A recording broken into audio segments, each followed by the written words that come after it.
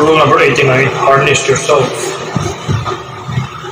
The second you said I can cuss and be me, and cussing, people I say, man, you cuss all the fucking time. Why? Well, I hate to say it, the best way for me to get how I feel across, it, it allows me to express right. where I was at at a point of my life. If I don't give you all of me, why the hell am I here?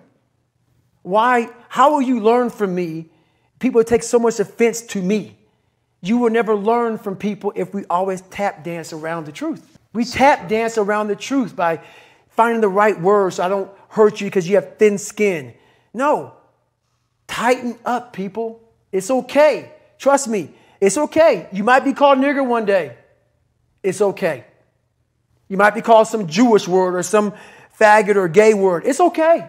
Let them call you that. What are you going to do now? They don't own your life.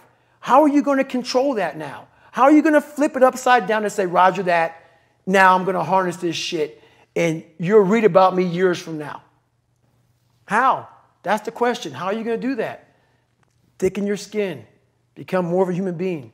Don't be afraid of the reflection in the mirror because that's all you can be afraid of.